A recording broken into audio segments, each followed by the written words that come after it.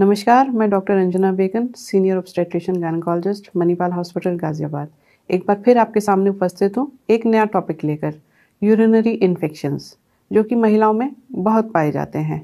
तो इस छोटे से टॉपिक के बारे में छोटी चर्चा यूरिन इन्फेक्शन क्या होते हैं?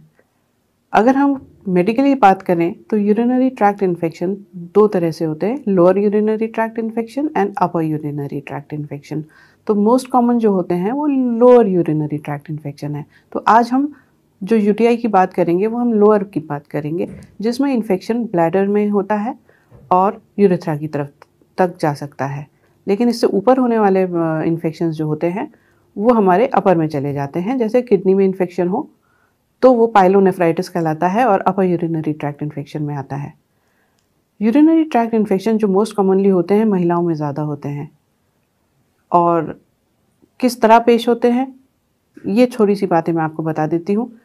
अगर आपको लोअर यूरिनरी ट्रैक्ट इन्फेक्शन है तो आपको महसूस होगा बर्निंग मिक्चुरेशन यानी कि यूरिन करने में जलन महसूस होगी, या यूरिन पास करते वक्त बहुत पेन होगा। इन दो बातों के अलावा तीसरी चीज़ ये कि आपको बार बार यूरिन आएगा, चाहे आपका ब्लैडर एम्प्टी हो। ये तीन चीज़ें हमें बताती हैं कि आपको लोअर यूरिनरी ट्रैक्ट इन्फेक्शन है। बहुत ज़्यादा इन्फेक्शन होने की स्थिति में कभी कभी आपको बुखार और ठंड दे के बुखार आ सकता है। लोअर एब्डोमेन में पेन या लोअर बैक में भी पेन हो सकता है। ये हो गए सारे साइंस एंड सिम्टम्स जो यूरिनरी ट्रैक्ट इन्फेक्शन में आपको मिलेंगे। आखिर यूरिनरी ट्रैक्ट इन्फेक्शन होता क्यों है? ये इसलिए होता है कि फीमेल जेनेटेलिया जो है, उसकी अनाटमी उसको इन्फेक्शन को प्रोन करती है क्योंकि फीमेल यूरिथ्रा काफ़ी छोटी होती है। दूसरी बात multiple frequency increase frequency of intercourse भी हमको यूरिनरी ट्रैक्ट इन्फेक्शन देता है। नई नई शादी हो तो अक्सर यूरिनरी ट्रैक्ट इन्फेक्शन होता है, जिसे हनीमून सिस्टाइटिस भी बोलते हैं। तो ये ब्लैडर इन्फेक्शंस किस वजह से होते हैं? मोस्ट कॉमन कॉज इस इन्फेक्शन का है ई e. जो हमारा गट बैक्टीरिया है। इससे होने वाले इन्फेक्शन 80 टू 85 परसेंट होते हैं। बाकी इन्फेक्शंस रेयरली कभी वायरल या अन्य बैक्टीरियल होते हैं।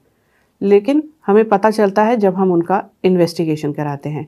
इन्वेस्टिगेशन में हम यूरिनरी कल्चर एंड सेंसिटिविटी कराते हैं, जिससे हमें मालूम होता है कि बैक्टीरिया या इन्फेक्टिव एजेंट कौन सा है। साथ ही हमें ये भी मालूम होता है कि कौन सी ड्रग्स की, कौन सी एंटीबायोटिक्स की सेंसिटिविटी या रेजिस्टेंस है आपके अंदर। एक बार इसकी रिपोर्ट आने तक डॉक्टर्स आपको ट्रीटमेंट तो स्टार्ट करते ही हैं। तो उस ट्रीटमेंट में हम क्या करते हैं? सबसे कॉमन एंटीबायोटिक्स आपको स्टार्ट करते हैं। साथ में एल्कासोल या सिट्राइल का जैसा एजेंट देते हैं जो आपकी यूरिन का पीएच नॉर्मलाइज करता है, जिससे आपकी बर्निंग सेंसेशन कम हो जाए। जब तक कि आपकी सेंसिटिविटी रिपोर्ट्स आती हैं तो मोस्ट कॉमन एंटीबायोटिक जो प्रिस्क्राइब्ड है, वो शायद नाइट्रोफिरेंटोइन है, जो आप कृपा करके अपने आप से ना लीजिएगा। हमेशा एंटीबायोटिक्स अपने डॉक्टर के परामर्श के उपरांत ही आप एंटीबायोटिक स्टार्ट कीजिएगा। ट्रीटमेंट बहुत आसान है। यू यूटीआई जो है, अगर टाइम से ट्रीट करें तो पाँच से सात दिन के अंदर एकदम ठीक हो जाता है। इसके अलावा जो जनरल बातें हैं कि इन्हें कैसे बचा जा सकता है, बचने के लिए आपको बहुत पानी पी के रखना है, खूब पानी पीना है, कभी भी डिहाइड्रेटेड स्टेट में ना हो, साथ में पर्सनल हाइजीन शादीशुदा जोड़े, ये ध्यान रखें कि कांटेक्ट होने के बाद इमीडिएटली यूरिन पास कर लें और पर्सनल हाइजीन का ख्याल रखें। इसके अलावा मेरे ख्याल से ये चर्चा यहीं तक। अगली बार नए टॉपिक के साथ मिलेंगे। धन्यवाद।